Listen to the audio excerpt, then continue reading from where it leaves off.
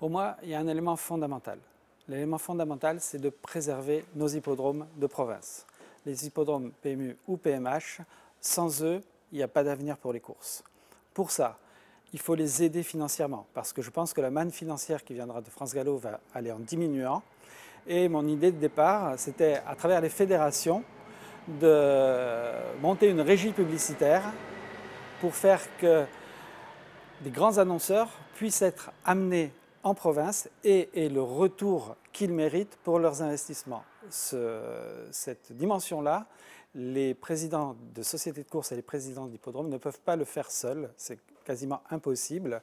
Et donc si on pouvait, au niveau de chaque région, au niveau de chaque fédération, fédérer euh, l'ensemble de la publicité à travers une régie, il me semble que ce serait un élément fondamental pour pouvoir financer nos hippodromes, aider les propriétaires éventuellement à avoir de meilleures allocations par des compléments d'allocation et faire qu'en vivant les courses sur place, on pourrait amener de nouveaux propriétaires à avoir le plaisir de se retrouver en famille aux courses. Il me semble indispensable que les grands prix de province se courent le week-end à des heures convenables pour que le public puisse avoir un contact précis avec les bons chevaux qui viendront courir sur tous nos grands sites de province parce que nous avons de très très beaux hippodromes. Je ne vous parle pas que du sud-ouest, mais que vous alliez à Bordeaux, à Nantes, à Lyon-Paris.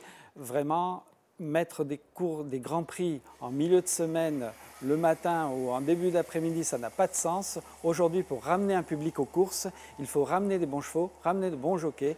Et pour ça, c'est le week-end que les gens sont disponibles. C'est le week-end qu'il faut leur amener les grands prix de province. Il est, à mon avis, indispensable que nos chevaux jeunes puissent trouver dans une distance raisonnable de leur lieu d'entraînement un programme de course progressif pour ne pas faire en sorte qu'ils doivent monter à Paris euh, dès qu'ils ont gagné une ou deux courses, et parce qu'à deux ans, c'est tout juste insupportable pour leur santé. Donc il y a une vraie préservation de la santé des jeunes chevaux euh, qui est nécessaire à travers un programme. Sans un programme qui leur est adapté, on mettra en danger nos jeunes chevaux.